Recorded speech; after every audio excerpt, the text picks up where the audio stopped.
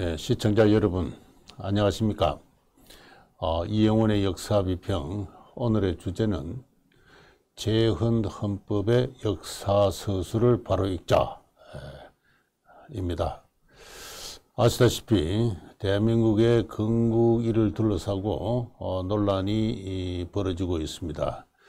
1919년에 대한민국이 건국되었다고 주장하는 사람들은 흔히들 헌법의 전문을 어, 근거로 삼고 있습니다. 재헌헌법을 보라. 재헌헌법 전문에 그렇게 되어 있지 않느냐. 또 1987년에 개정된 현행헌법의 전문을 보라. 거기는 분명히 1919년에 설립된 임시정부의 에, 보통을 잇는다고 되어 있지 않느냐 이런 주장을 합니다. 에, 오늘은 어, 재헌헌법 1948년 8월 어, 7월 17일에 제정된 재헌헌법의 전문이 어떠한 내용으로 취지로 어, 기술되어 있는가 그것을 바로 읽어야 된다.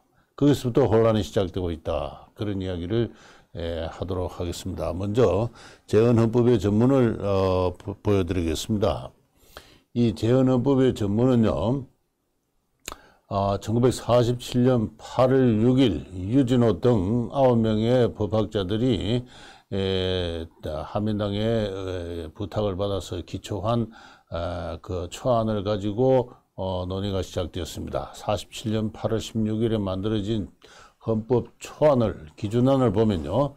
전문이 이와 같이 되어 있습니다. 유구한 역사와 전통에 빛나는 우리 한국 인민은 3.1혁명의 위대한 발자취와 거룩한 희생을 추억하며 불굴의 독립 정신을 개성하여 지금의 자주 독립의 조국을 재건함에 있어서 이러한 역사 서술을 했습니다.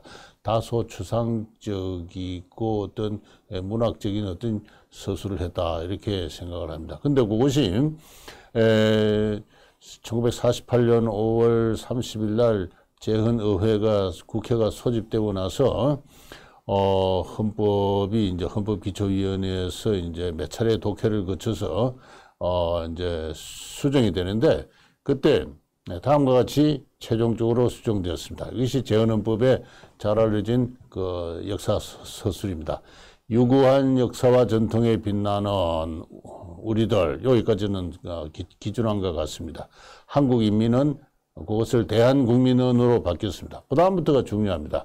기미 3.1 운동으로 대한민국을 건립하여 세계에 선포한 위대한 독립정신을 개성하여 이제 민주독립국가를 재건함에 있어서 이렇게 바뀌었습니다.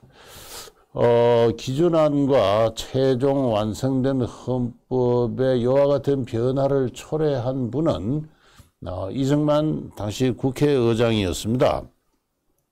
이승만 국회의장이 헌법 전문을 이와 같이 바꾸면서 자기가 왜 이런 요청을 하는가, 왜 이렇게 부탁하는가를 그 설명한 그 설명 취지안이 있습니다. 그것을 제가 지금 에, 소개해 드리겠습니다. 이승만 그 초대 국회의장이 헌법 전문을 그렇게 바꾸도록 제안한 사유는 다음과 같습니다. 헌법 전문 이것은 긴요한 글입니다. 거기에 우리 국시, 국채가 표시됩니다. 그것은 민주국 공화체입니다. 김인현 때 선포한 것입니다. 1919년 3.1운동 때 그렇게 선포한 것입니다. 이 정신은 벌써 35년 전에 세계에 공포한 것입니다. 그럼 말이 좀 중간에 이어지다가 결론으로 무엇이라 하든지 맨 꼭대기에 헌법 맨 꼭대기에 이런 의미의 문구를 넣어서 우리의 앞길이 이렇다 하는 것을 역사상에 남기도록 하면 또 우리가 자발적으로 일본에 대하여 싸워가지고 이때 입대 진력해오던 것이라 하는 것을 우리와 이후에 우리의 동포들이 알도록 잊어버리도록 하면 좋겠다는 것이 나의 요청이며 또 부탁하는 바입니다. 이 헌법 그 유준호 씨 등의 기준 안에는 민주공화국이다라는 어떤 그 국채에 대한 명징적인 언급이 없다는 것이 이승만 국회의장이 그저 수정을 어, 제기한 기본 그 원인입니다. 우리의 국시는 민주공화국이고 3.1운동 때 35년 전에 이것을 이미 세계에 선포한 것이다. 그리고 그런 정신으로 입대까지 우리가 일본과 싸워왔다. 이 정신과 역사를 헌법에 좀 더 분명히 하여 후손들로 하여금 우리 동포들로 하여금 잊지 말도록 하자는 것이 나의 요청이고 부탁이다. 이렇게 이야기를 했어요. 그 이승만 국회의장이 그렇게 강하게 주장을 하니까 그렇게 수정이 된 겁니다. 요, 요컨대 우리의 국채가 민주공화국이다. 그 정신으로 독립운동을 했다. 요것입니다. 요것이 전문을 보다 역사적인 서술의 형태로 바꾸도록 한 이승만 국회의장의 기본 정신이었습니다. 그리고 그와 같은 기본 정신은 이후 에, 국, 어, 그렇게 되자 이제 에, 문제가 발생하기 시작했습니다. 어, 대한민국을 건립했다. 그리고 세계에 선포한 독립 정신을 계승해서 이제 대한민국을 그 민주공화국을 재건한다 이랬으니까 헌법기초위원회의 여러 사람들이 그러면 지금 새롭게 생기는 이 대한민국은 임시정부를 개선하는 것인가? 임시정부를 개선한다면 임시정부의 헌법이나 헌장이나 법과 제도 그리고 임시정부의 삼균주의 이념은 어떻게 되는 것이냐 그게 우리 헌법에 어떤 관계가 되느냐 이런 논란이 벌어질 수밖에 없어요. 이렇게 이제 왈가왈부하는 한 결과 헌법기초위원회의 좌장을 맡은 서상일 의원이 논의 논란을 종합하면서 다음과 같이 이야기를 합니다. 이 말이 상당히 중요해요. 임시정부의 정신을 개선한다는 말이지 임시정부의 헌장이라든가 임시정부의 제도를 모두 개선한다는 말은 아닙니다. 우리가 3.1혁명으로 말미암아 그때 임시정부가 된 것이니 그 정신을 개성해 가서 이것이 새로운 국회로 말하자면 지금 우리가 새로운 국회를 하는데 이 정식 국회가 임시 국회가 아니고 정식 국회가 새로운 헌법을 제정하는 것이 당연한 순로입니다. 그 정신을 개성해서 임시정부의 그 정신을 개성해서 이 새로운 국회가 새로운 헌법을 제정하고 있습니다. 그렇다고 해서 그때는 망명이라고 하면 어폐가 있겠습니다만은 해외에 가서 있던 정부인이 많지 또는 그 제도라든지 제법이라든지 그러한 것을 오늘날 그대로 개성할 필요는 없습니다. 이 임시정부가 과연 망명정부인지 여부는 어, 좀, 좀 논란이 있다. 그러나 해외에 나가서 만든 정부인데 정부인데 그 정부가 정부인 건 사실이나 그 법과 제도를 우리가 오늘날 그대로 개성할 수는 없다. 아, 그렇게 해서 임시정부를 개성한다는 것은 우리의 독립정신, 민주공화주의에 입각한 그 독립 정신을 개성한다는 뜻이지 그 법과 헌장 제도 법을 개성하는 것은 아니다. 이렇게 해서 논란이 종식되었던 겁니다. 논란이. 이게 상당히 중요하다. 그리고 어, 이와 같은 그 정신은 그 이승만 음, 그 당시 국회의장의 국회 개회사에서도 잘 나타나 있습니다. 보이는 사진은 참 전에 한번 소개를 했습니다만은 우리 한국인의 어떤 정치의 역사에서 그야말로 획기적인 어떤 하나의 기념비적인 사건입니다. 1948년 5월 30일 예, 국회가 문을 여는 그 개회식의 장면인데요. 그 중앙에 서 있는 분이 초대 국회의장 이승만입니다. 다음과 같은 개회사를 했어요. 3.1운동 때 13도 국민대회가 열려서 대한민국을 건립하여서 세계에 선포했다. 이 저 한성 임시정부의 집정관 총재로 그 추대된 이승만은 그 집정관 총재를 영어로 프레젠트로 번역을 했습니다. 그리고 나서는 일본 천황에게, 영국 수상에게, 미국 대통령에게, 각국의 대통령에게 새로운 공화국이 성립했다는 것을 자신의 국가 원수, 대 프레지던트의 이름으로 그거를 그 선포를 했습니다.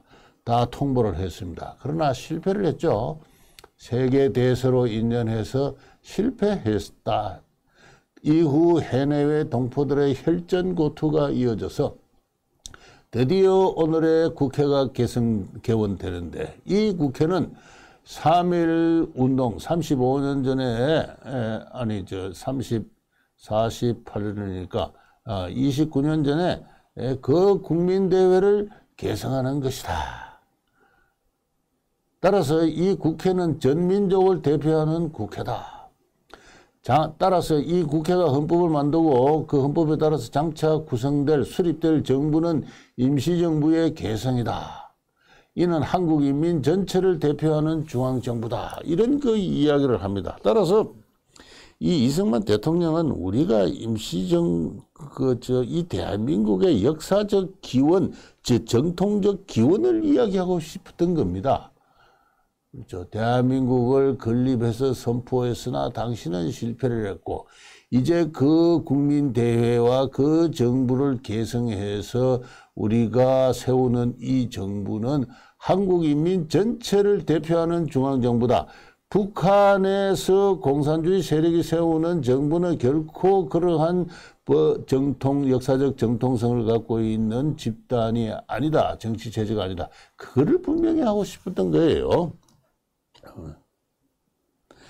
이와 같은 대통령의 정신이나 재헌 의원들의 그 저 토론의 정신 이것은 어 1948년 에 8월 15일 드디어 대한민국 동, 독립 건국 정부 수립의 식전에서 대통령이 행한 기념사에서도 그대로 나타나고 있습니다. 이 사진은 제가 오른쪽에 있는 어, 왼쪽에 있는 것은 어, 저 널리 잘 알려져 있는 사진입니다.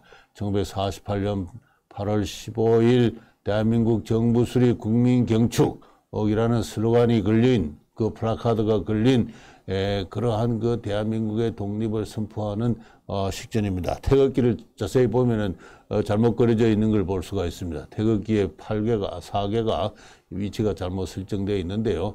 그만큼 당시는 참 허둥지둥 하루하루 그냥 준비도 없이 뭐 태극기까지 거꾸로 걸어놓고 지금 뭔가 출범을 하고 있는 참 우리 선조들의 참 그, 어, 뭐, 뭐라 그럴까.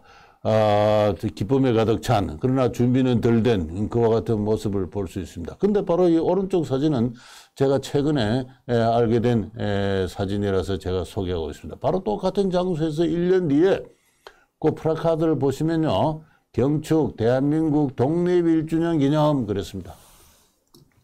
정부 수립이 1년 뒤에 독립 1주년 이렇게 바뀌었어요. 바뀌었습니다. 그 사진을 다시 한번 보시면은 제일 위에는 한 번 뭉쳐 민국 수립 다시 뭉쳐 실지 회복 그랬습니다. 요 뭉쳐도 요즘 맞춤법이 틀렸습니다. 맞춤법도 제대로 아직도 정립되어 있지 않는 그와 같은 어, 신생국의 어, 언어 어, 그것을 여기서 볼 수가 있습니다. 근데 이것은 당시 독립 1주년을 맞이해서 모집한 국민 포스타, 어, 국민 그 포스타 당선작입니다. 한 번 뭉쳐 민국을 수립했다는 것입니다. 민국을 수립했다. 자, 이와 같은 그, 저, 이 사건, 정부 수립이 독립이니 이거는 매우 구체적이고 현실적이고 국제적인 사건입니다. 국제적. 근데, 어, 바로 이와 같은 그, 저, 정부 수립과 건국과 독립은 동의어로서 현실적이고 구체적이고 그리고 국제정치적 실정적 사건이었다는 걸 제가 이전에 말씀드렸는데 그 식전에서 초대 대통령 이승만은 다음과 같은 정부 수립의 기념사를 어, 했습니다. 잘 알려져 있는 이야기인데요. 이 나라는 민주정체다. 민권과 개인의 자유를 보호한다. 개인의 근본적 자유를 보호하는 새로운 나라가 태어났다. 국민이나 정부나 항상 주의해서 개인의 언론과 집회와 종교와 사상 등 자유를 극력 보호해야 된다.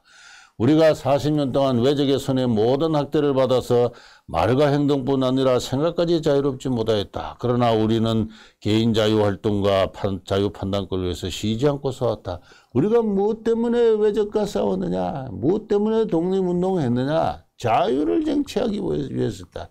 잃어버린 우리의 자유를 쟁취하기 위한 것이었다. 늘 강조하지만 독립운동의 역사적 의의를 이렇게 규정한 사람은 아직까지 이승만 대통령이 유일무이합니다. 그러고 나서 그 조금 뒤에 가면 다음과 같은 이야기를 합니다.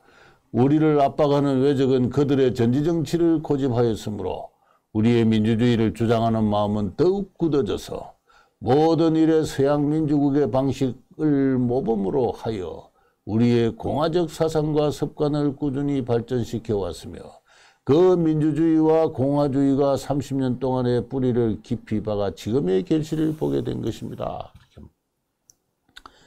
외적이 우리를 압박하였으므로 우리는 우리의 자유를 찾아서 쉬지 않고 투쟁해 왔다. 이 자유는 어디서 온 거냐? 서양 민주국의 방식을 모범으로 하여서 우리의 공화적 사상과 습관을 꾸준히 발전시켜 왔어. 그 30년 피어린 적공의 결과로 오늘날의 이 대한민국이라는 열매를 맺고 있다. 이렇게 이야기를 했어요.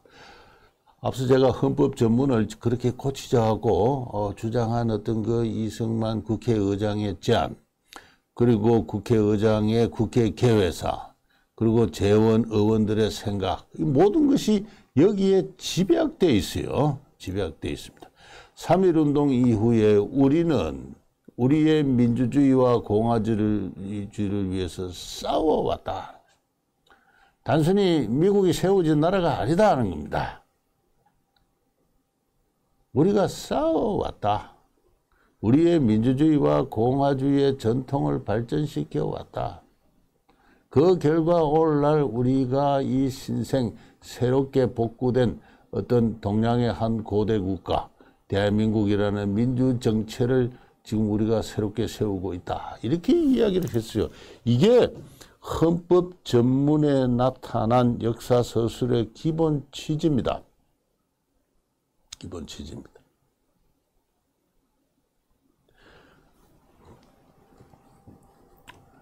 이와 같은 역사 서술을 두고 그 문투 문구에 집착을 해서 대한민국을 건립하여 이제 재건함에 있어서 그 말을 가지고 대한민국을 건립했다고 하지 않느냐? 1919년에 이미 건국된 거 아니냐? 그렇게 사람들이 주장을 해요. 분명히 읽어보면은 대한민국을 건립하였으나 세계 정세에 인연하여서 실패하였고라는 것이 당시 사람들의 공통된 인식입니다. 그러나 중국에서 임시정부가 수립되었는데 그 임시정부의 정신을 우리가 지금 개성해서 법과 제도와 헌법과 실체에 있어서 새로운 민주공화국을 건설한다는 이 말을 두고 1919년에 나라가 건설되었다고 주장을 하는 겁니다. 그 정신, 그 역사적 정통성을 강조하는 것에 대해서는 저는 하등의 이의가 없습니다. 이승만 대통령은 다소간의 주의주의적인 어떤 역사적 실태와는 반드시 합치를 하지는 않습니다. 과연 우리 한국인들이 지난 30년간 민주주의와 공화주의를 위해서 그렇게 노력한 결과 어, 48년에 대한민국이 성립되었느냐 반드시 그렇게는 이야기할 수 없습니다. 우리 힘 우리 힘으로 해방된 거 아니잖아요. 솔직히 말씀드려서 일본 제국주의를 해체한 것은 미국이었습니다. 미국의 동아시아 국제체제의 재편 과정에서 대한민국이 생겨났습니다. 그와 같은 큰 어떤 그 역사적 배경 위에서 자유민주주의, 공화주의를 추구하는 어떤 소수의 정치 세력이 단합하고 미국과 협력하고 국제사회를 설득하고 또 국민을 이끌고 이 대한민국을 세운 것이죠. 따라서 헌법 정문의 서술은 역사적 사실과는 반드시 일치하지 않는 의지적인 주관적인 해석을 담고 있습니다. 그러나 모든 역사에는 그와 같은 주의주의, 특히 정치, 정치가들의 어떤 정치 의식으로서 역사는 그와 같은 어떤 주의주의적인 발론타리스틱한 어떤 그러한 해석을 취향을 담을 수밖에 없습니다. 그래야 국민을 통합하는 것이죠. 그 국민 통합적인 어떤 그러한 역사 의식으로서 역사 인식으로서 헌법 전문은 저는 타당하다고 생각합니다. 그런데 그 말투 하나, 단어 하나 하나를 가지고 1919년에 대한민국이 건국되었다고 이야기를 하는 사람들이 나타나기 시작했습니다. 당신 누구도 그런 이야기를 한 적이 없습니다. 저는 그것을 가지고 예, 불가에서 이야기하는 견지망월이다라는 이 달을 봐라 라고 이야기하는데 손가락을 보고 시비를 거고 있는 이 중생들의 어리석음, 그 소인들의 학문, 어, 저는 그 1919년의 건국설은 바로 에, 그러한 것이 아닌가. 달을 봐라. 저 달이 얼마나 아름다우느냐. 저 달이 우리에게 무엇을 의미하고 있는가? 라고 달을 가리키고 있는데 손가락을 보고 손가락밖에 보지 못하는 그 중생들의 단견, 시비지심, 그 어찌할 수 없는 어리석음. 예, 바로 그것이 1919년 건국설의 모습이 아닌가 아, 저는 그렇게 생각합니다. 다음 시간에는요. 현행 헌법에 나타나 있는 임시정부의 법통 이 재헌헌법에는 없던 말이 1987년 헌법 개정에 들어가게 됐는데 그것은 더 심각한 어떤 견지 망월의 어리석음의 결과입니다만 그것을 한번 다뤄보도록 하겠습니다. 오늘은 여기서 그치도록 하겠습니다. 감사합니다.